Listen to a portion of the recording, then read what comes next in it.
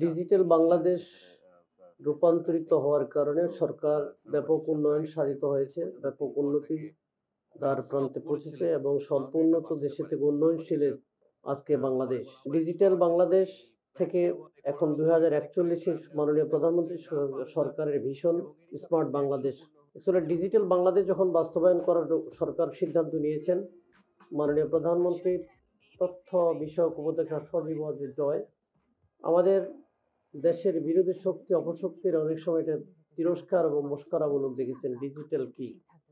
কিন্তু ডিজিটাল হওয়ার কারণে বাংলাদেশের যে উন্নয়ন সাধিত হয়েছে এবং কমিউনিকেশনের যে উন্নয়ন হয়েছে এবং সবচেয়ে বেশি উপকার আসছে করোনার সময় মানুষকে সেবা দেওয়া এবং মাননীয় প্রধানমন্ত্রীর দেশ এবং আন্তর্জাতিক সকল জায়গায় যে কমিউনিকেট করার জন্য সুব্যবস্থা হয়েছিল।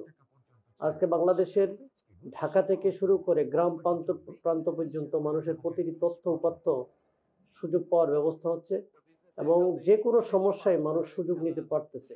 দুই হাজার একুশ সালে এসে মানুষ যখন সুফল ভোগ করেছে, অবশ্যই তাই সাধুবাদ দেওয়ার জন্য। তো আমরা জাতি হিসাবে পিছিয়ে থাকব না এবং সে উন্নত শিখরে পৌঁছার জন্য দৃঢ়পত্র নিয়ে মাননীয় প্রধানমন্ত্রীর পাশে থাকব। ওনার কর্মী হিসাবে চাঁদপুর তিনের মানুষের পক্ষ থেকে আমি মাননীয় প্রধানমন্ত্রীর জন্য দোয়া আশীর্বাদ কামনা করে শেষ করছি। আল্লাহ হাফিজ, আসসালামু আলাইকুম।